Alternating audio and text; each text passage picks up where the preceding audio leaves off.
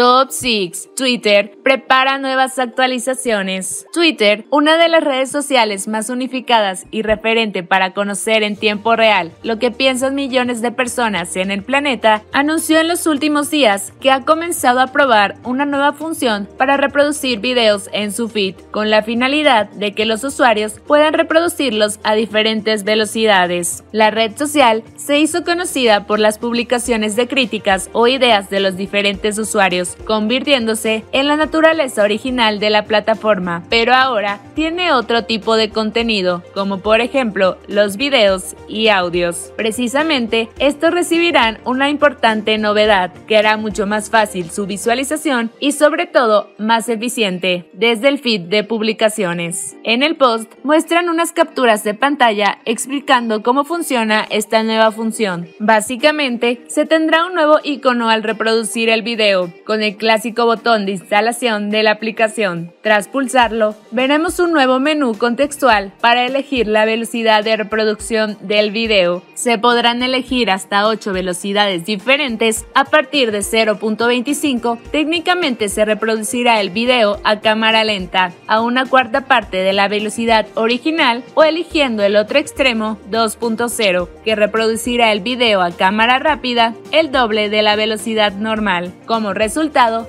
se podrá ver videos de una manera aún más personalizada, más lento si el usuario no desea perder los detalles de una situación particular en el video o mucho más rápido, al doble de velocidad si hay partes que no interesan y se quiere saltar rápidamente hasta llegar a la parte interesante. Twitter dejó claro que los mensajes de voz o las notas de audio de Twitter también pueden ser alteradas en cuanto a su velocidad de reproducción y que se entiende esto de forma similar, una función que vio hace poco en WhatsApp y tuvo mucho éxito. Debido a que no todas las personas tienen el tiempo del mundo para escuchar lo que reciben en mensaje de voz o publicaciones de audio, esta nueva función ayudará al usuario a ser más eficiente a la hora de percibir contenidos, centrándose únicamente en lo que realmente interesa y parece destacable. Todavía se tienen que esperar un poco más para que todos puedan disfrutar de estas funciones, que sin duda serán útiles para la mayoría de los que ven cientos de tweets al día, eligiendo los que parecen más interesantes para uno mismo en todo momento. Actualmente,